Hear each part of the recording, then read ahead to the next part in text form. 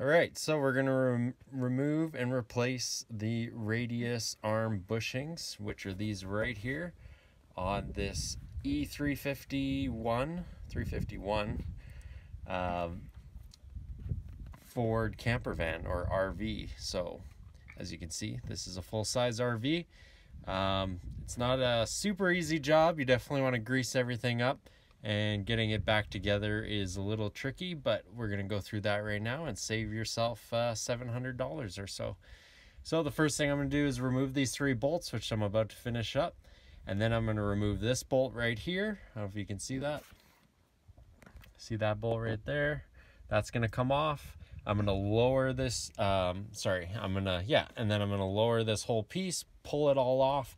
You may need to use a knife to cut it like I did on the last one cut it all out, rip off all this old junk. You got your new kit that you just bought from the store, and we're going to reassemble it. Just don't forget the order that it comes off in.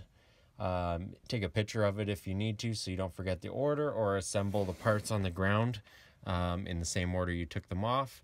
And this is the easier way to do it. Um, a lot of videos you'll see everyone, depending on what, if you don't have actual bolts here, if you have rivets, then you either got to take the rivets out, which is really difficult, or you got to take the suspension and the wheel and everything off. But right now we don't have to do that. So this is definitely the easier way. So pray that you only have bolts to deal with. If not, watch somebody else's video. And so these, the wear and tear you see here, this is 42 years of basically sitting around. This vehicle has 77,000 miles on it. Um, but most of the time things deteriorate like this just from sitting around for 42 years and never being changed. So that's why you want to make sure you grease up all your nuts with WD-40 or quick lube or something like that so that you don't uh, bust the nut. So we'll keep going on this and we'll bring you right back. So you might find that this uh, is really stuck depending on how uh, what the what the style of bushings were before. The really old style um, the rear bushing had a longer inner bushing that would come out the front side whereas you'll see the new style there's two of these and they meet halfway whereas before it would have been uh, a really long one like this. And so it's been in there so long sometimes they can get stuck. So one thing I found is you can uh, put a strap on like this find a hole or a spot somewhere somewhere strong on the frame that you can hook to and then we're just gonna slowly ratchet this off and hope that it comes off half easily. And then what I did last time, because it didn't, is uh, I took my knife and basically cut all the way around this bushing so that eventually, eventually it just popped right off. So I'm gonna spend a couple minutes just cutting this off. Okay.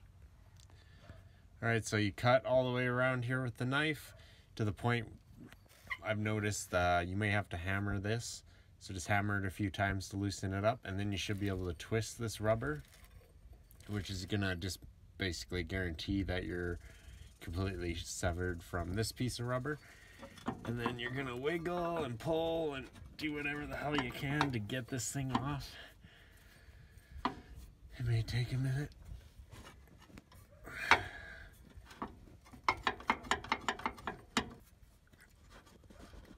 This one was a little harder because there's some brake lines on this upper side that you probably can't see, but uh, so you just got to be careful with those. All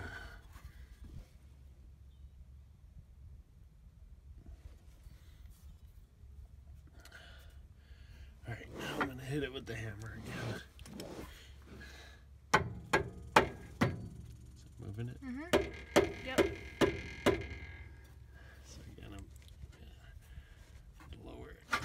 Brake lines.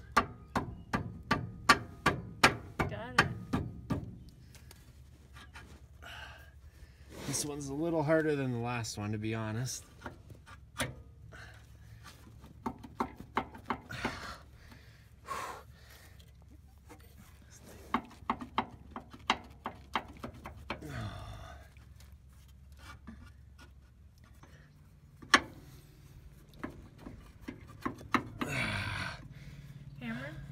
like almost there.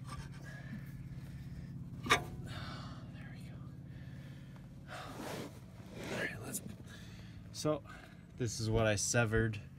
So now this should look at the rust and rubber in here. So I'm gonna, we'll get to that. Twisting things helps, I've noticed. This is the first thing I've ever done mechanically on a vehicle by myself or close to by myself. I just got we got sick of paying people to do this shit. See, look at the rust on there. So this was a seven hundred dollar job, or three hundred and fifty for one side and three hundred and fifty for the other side. So what you just saw me do cost about hundred and now, what I'm gonna do next is gonna cost another hundred and fifty dollars. So this, like I said, this was connected to that uh, other bushing right here. I cut it off. So this is old technology, like I said. So that pops out. So that would have been attached to there. Old technology. Now you'll see the new stuff. They're gonna meet up in the middle rather than being extra long like this, which was a pain in the ass. So I'm gonna clean this up real quick. And then uh, it pretty much gets cleaned up as you hammer on the new the new washer here. So I'm gonna hammer a new one on put this thing back together. That's how easy it is.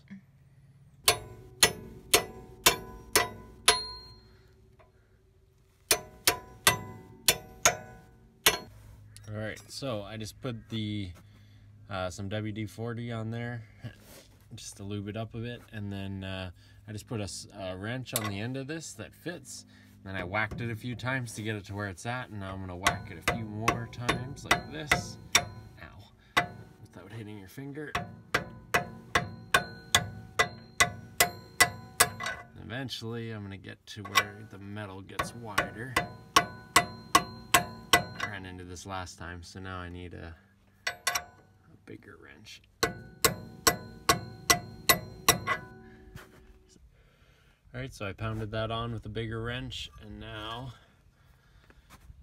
I'm gonna get this back on. So I'm gonna try to line this up, get it past these brake lines again. This is gonna be a tougher one, I think, than the, like I said, than the last side because of these brake lines.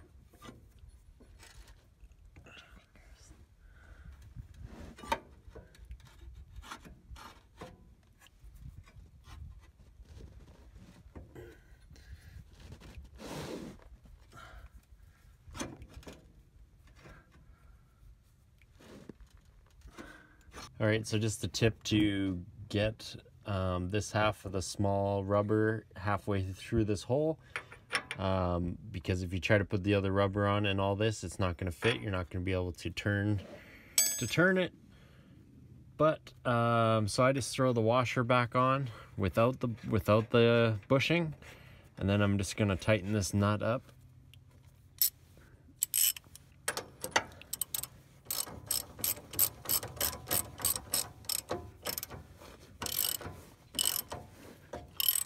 If you're having trouble getting this uh, bushing against there, like if you can't hammer it, if you're having trouble, um, what you can do is what I just showed you, and it'll squeeze it over enough, hopefully, that uh, then you can put your second bushing on and everything will fit, and then you can tighten the nut to suck it all over rather than uh, killing yourself trying to hammer it on.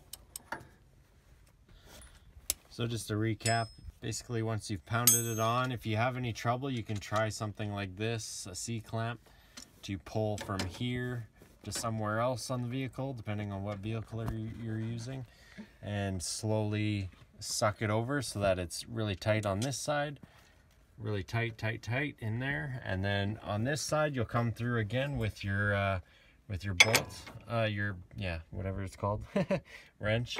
Put it on the rubber part and just and hammer at the rubber until the rubber goes in far enough that you can get the washer and the nut. And once you're done that, you're on fire. Then it's just a matter of getting the last three bolts back in, and we're done. All right, so can be a, a tough job putting these three bolts on.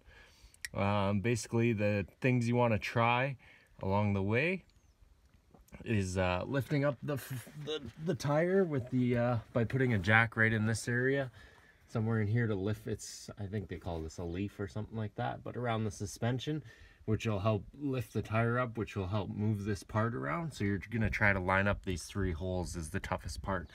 Uh, you may have to put a jack here as well which will help but if you're finding it needs to go forward or backwards then you're gonna need to lift the front tire and push or pull it backwards.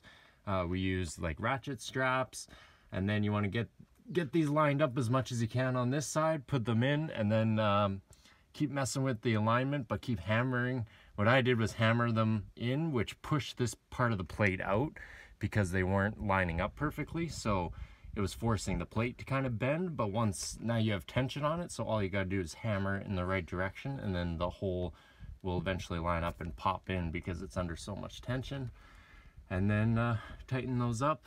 You might have nuts on the other side. If if if so, you got to put a wrench on there. Tighten these up, tighten this up, and we're good to go.